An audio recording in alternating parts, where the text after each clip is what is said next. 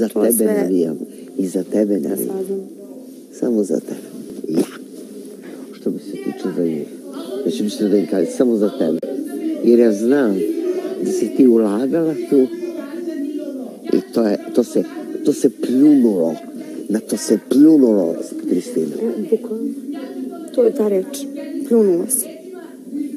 Jel ta reč? Da. Jer nisi bila ni pripremljena pile. Hoću da sagledaš sve. Ja sam, ali nisam koristila to što sam pripremila. Tako reći. Bila sam pripremljena um, ne, ne, njega. Su vidjeli da si počela da plašeš.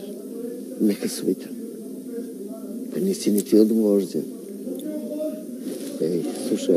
Tamo da mi se mama ne nervira slušaj, ja, mama je vidjela. Ne trebaju da se- ne će treba mama da se sekira.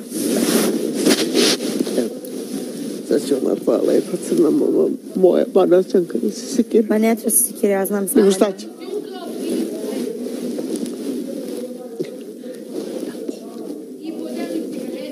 Da ovog, da se to luni desilo. Šest puta gore.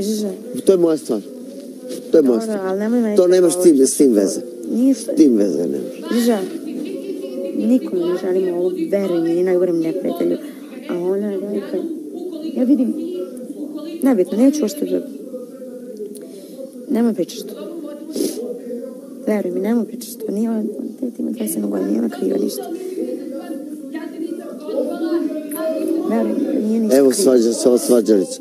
Dobro, Milko. Milka, ja tebe volim.